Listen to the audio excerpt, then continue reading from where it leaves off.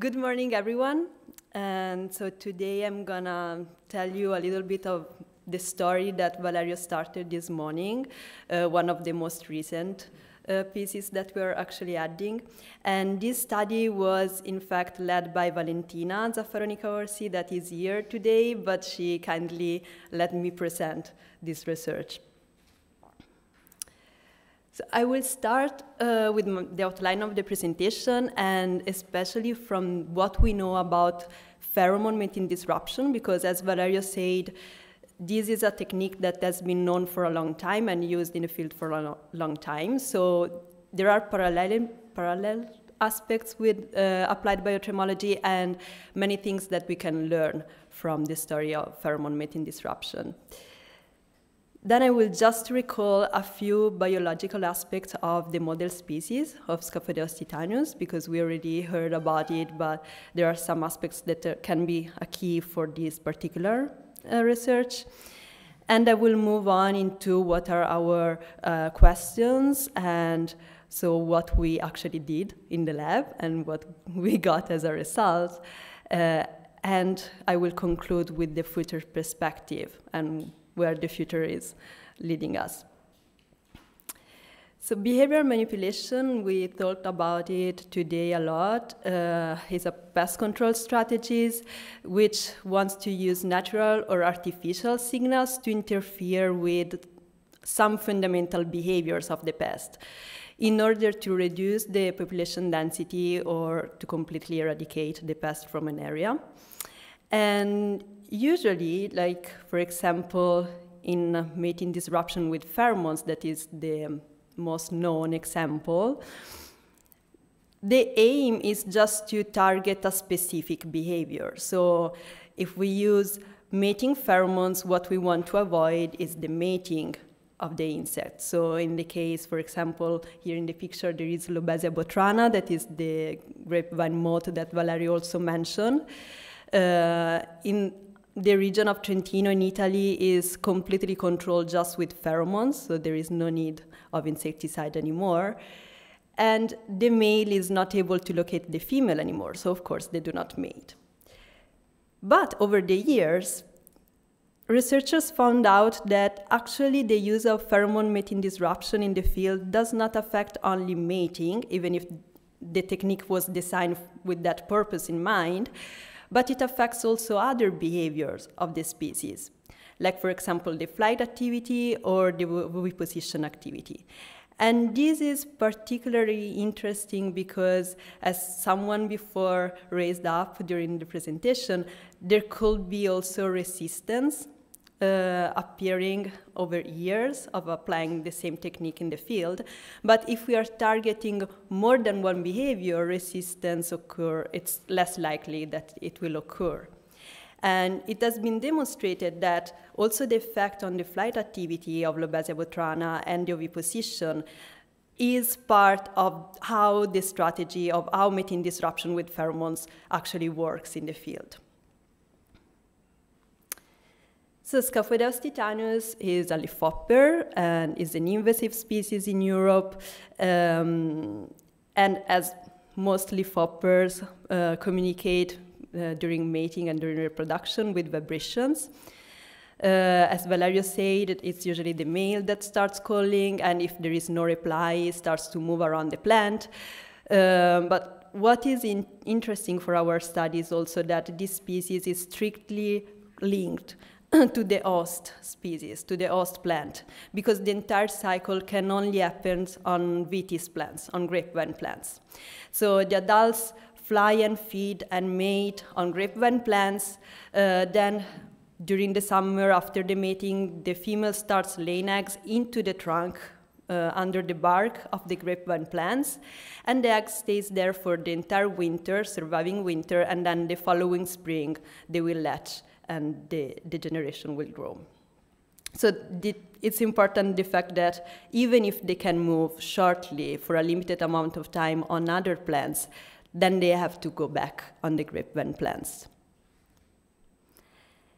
And they are important for the economic uh, point of view and for farmers because Scaphoideus titanus is vector of phytoplasma that cause flavescence doré in grapevine plants.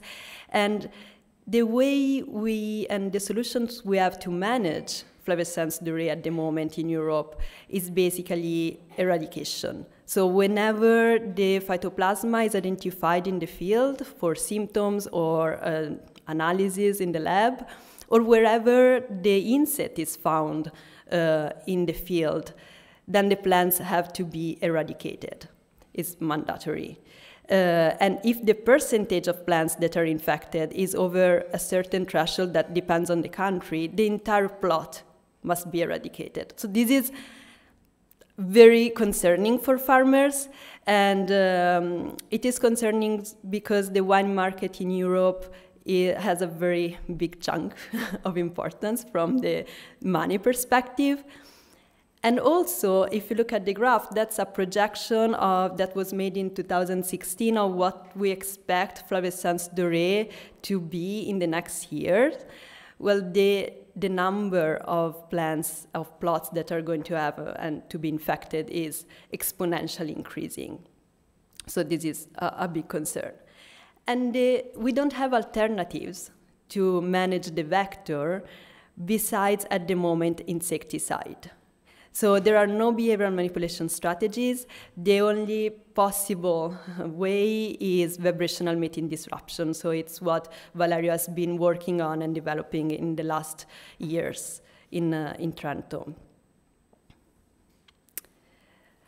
Given all that, so going back to what they found on the use of semiochemicals in the field, we thought maybe the vibrations, since the insect is spending most of its time on the plants and the plants are vibrating, maybe this is affecting also other behavior of the insect, like flight and oviposition.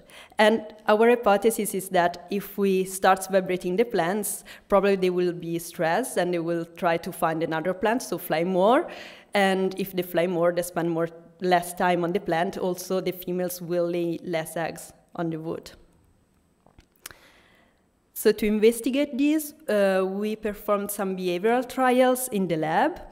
Uh, we used some platforms, uh, vibrational plates, we call them, um, that actually CVC built for us, uh, that are able to vibrate and shake the entire plant. Uh, so that the threshold of the disturbance noise was well above the threshold that we know is effective to disrupt mating on all the leaves of the plant we were testing. Uh, and we tested males alone in silence, males together with females in silence, and then males and females in presence of the disturbance noise. And we counted the number of flights, like recording with a video camera, we counted the number of flights that each individual, male and females, were doing during the trial for 40 minutes. Whereas for the oviposition activity, we use the same system of vibrating the entire plant in a greenhouse setting, and we isolated uh, the females inside this um, sleeve on the plant, uh, where we put inside all like mated females in silence or virgin females as a control and mated females with the vibrations. And we were giving them an oviposition substrate because they need at least a two-year wood uh, stick to lay the eggs.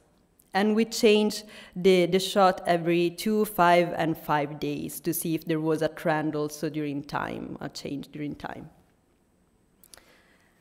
What we found is that if we look at the total number of flights, of course, males fly more. This is not um, surprising because we know from the biology of the insect that males are the ones that perform the call and fly behavior, and so usually they're the more active and the more willing to, to move around. And in fact, the males that are not in presence of a female and without the vibrations fly more. But if we add the female, this decrease, but if we add the female and the vibrations, they start to fly with the same amount of time as uh, the males without the female. So we think that this is because the male is not perceiving the female anymore, uh, either because she stopped replying or because it can like the, the perception is disrupted. And so it keeps calling and performing the call and fly behavior. But we see an effect also in the females that were exposed to vibrations that started to fly more compared to females in silence for the viposition, we checked the number of eggs that were laid uh, inside the wood at the stereoscope at a different time. And we saw that during uh, time there is an effect, so time is important because at the beginning, so in the first two days after mating, they actually do not lay eggs.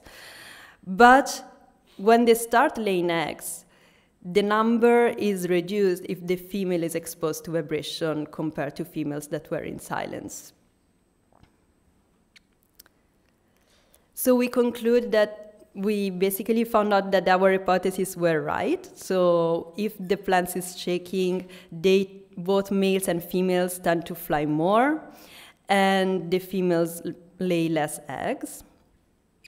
And this is important because probably the increased flight activity explained the higher number of, of captures that Imani was telling you before that we found in the vineyards with the mating disruption with vibrations. And considering that this is the system people usually use to assess if there is the insect and the density of the population, is important to know that if you see an increased number when you apply vibrations, it's not because the population is increasing, probably it's just because it's increasing their flight activity. It doesn't mean that the population is increasing. Also, if they stay less on the plant, if they fly more, probably they're also feeding less. And this for a vector species is very important because the transmission efficiency of the vector is related to the quantity of feeding. But Valentina will tell you more about this because she deepened the, the issue and so she has very interesting results to show you about it. And the observed reduction in laid eggs may lead to a lower fecundity. Uh, and this, it's very important because this means that even if they mate, so even if there are parts of the vineyard that are not over the, above the threshold, and they find a way to mate, we can still rely on this method to keep under control the population.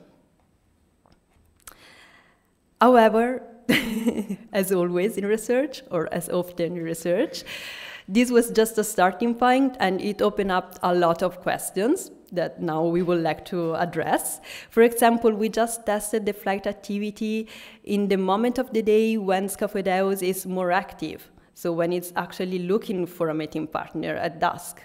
But what happens during the rest of the day? Like, do they fly more during also the other moment of the day? And uh, if they do, and so the flight activities increased a lot, can these make them face an energetic trade off? And so they have to allocate the energetic resources in a different way. And maybe this could also affect their survival rate, for example, and the presence of the insect in the field for a less, a shorter period of time. And then we don't know, we just looked at the females for eight days after the mating, but they actually can live up to a month. So it's also possible that they retain the eggs because maybe waiting for a better substrate to lay the eggs, and then when they found something that vibrates less, they deploy everything, all the eggs that they have in that moment, so that they recover the numbers of eggs. Uh, we need to test it. But even so, uh, at least in Lepidoptera, we have seen that a delay, a shift in the moment in which the eggs are laid in the field can affect the survival rate of the eggs. So this maybe can be enough even if they recover what happens to other leafhoppers. Uh, Iman mentioned that the system is not active only on Scaphoideus titanus, but also on other species uh, like Empoasca vitis. So what happens to the other leafhoppers? do they have, do they experience the same effect or not?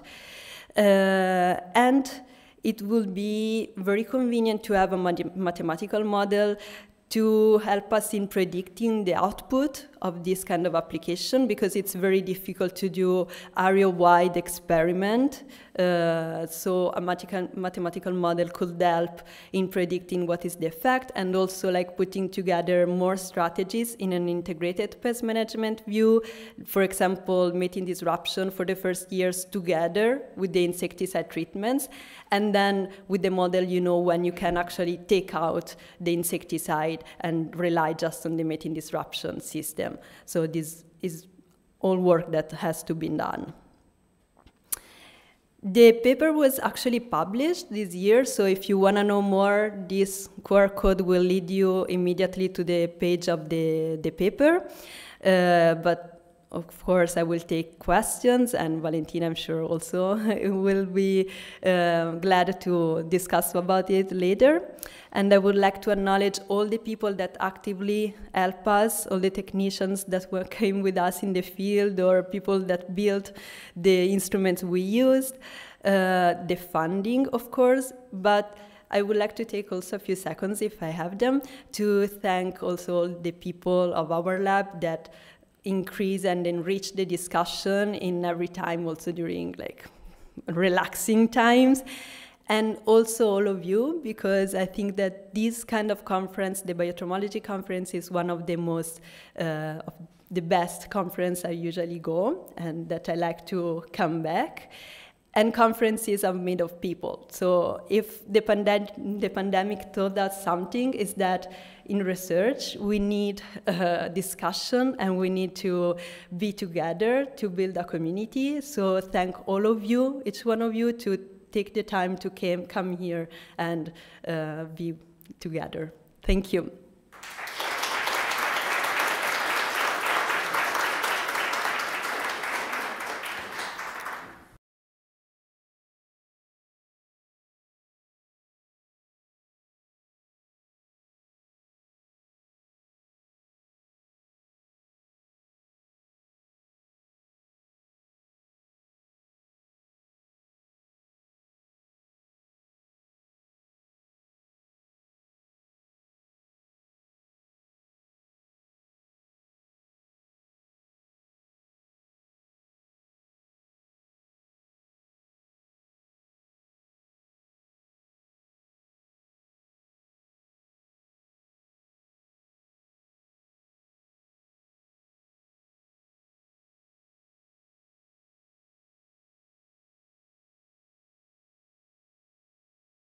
Uh, the bumblebees uh, because uh, this is invasive species. So that's why we are studying this aspect of the vibrations. And so what is more, so what, so we are uh, seeking the, the proximate factors that cause, cause reduction of white flies. So uh, as Valerio and uh, other colleagues studies uh, the behaviors of the white flies, so uh, we will have to uh, study the uh, similar things uh, such as disturbance in mating signals and reduction of, of position and delay in developmental stages. So that's it. So, I, would like to express my appreciation to many mem all members of the research uh, group and uh, uh, other staffs. And thank you very much for my, so thank you for my attention. That's it.